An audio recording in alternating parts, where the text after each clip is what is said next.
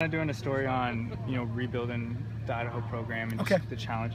So I'm um, start off just what are the challenges of rebuilding a program for like a college football program? Well, I think the the, the number one challenge is uh, everybody involved in the program, not only coaches, players, but everybody that uh, follows the team has to have patience because when, when you're rebuilding a program, uh, the, the worst thing you can do is go for the quick fix.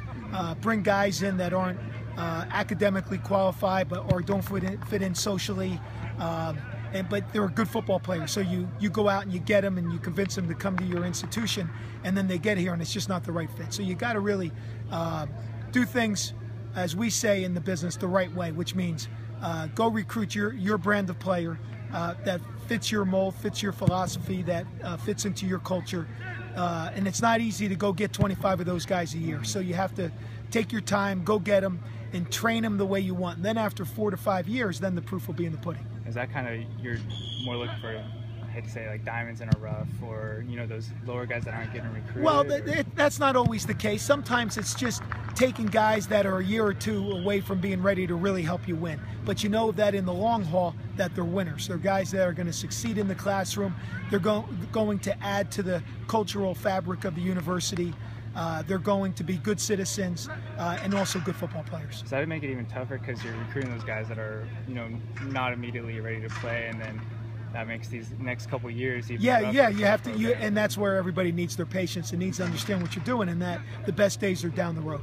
So as far as that, where is this program? Where do you see this program at? Like Well, right now? there's no doubt in my mind we're past the first step. Uh, when I got here, I can see that not only do we have some uh, talented upperclassmen, but also a good infusion of talent in the lower in the lower grades. So, uh, and at the end of the day, uh, coach's program will be built with these younger guys over the next three to four years. So, uh, let these guys develop. Let, let them let us get a couple classes in uh, of the right kind of guys. Let us develop them, and then let's see a championship program. You've been at some bigger schools, Notre Dame, Cincinnati. Sure. What are the differences between like building and rebuilding the programs there and then at UI? Well, there's more commonalities than uh, differences, and it all boils down to what, what did you have when you took over. You know, sometimes, uh, for example, when we went to Cincinnati, we took over because the coach was successful and he went on to Michigan State. Then we've also gone on programs where the coach was let go, uh, and that's because the program wasn't trending in the right direction. And it seems to me that. Uh, at the time when coach was hired the program was trending downward. So the first thing he had to do was stop the bleeding which obviously he's done. Now we need to start start building and moving forward. And then just like we kind of touched on it, like recruiting wise, what what do you tell a recruit? Uh, just kind of like about Idaho and like where we're at and where we're headed. well i think the first thing is uh, it's a great opportunity to come and get on the field early.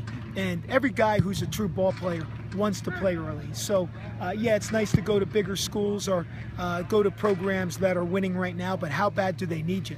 You know sometimes a program wants you but go to a place where you're absolutely needed. Like we need you to get on the field for us right now.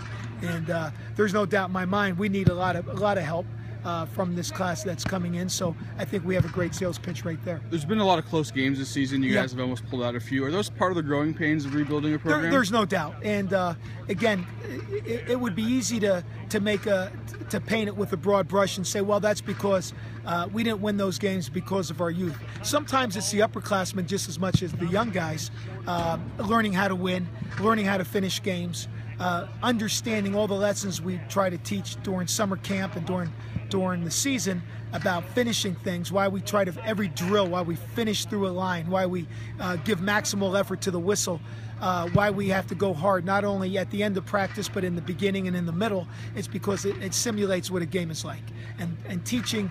60 guys to go as hard as they can for 60 minutes, a 60 minute game. Uh, those lessons aren't always easy to teach, so it takes time.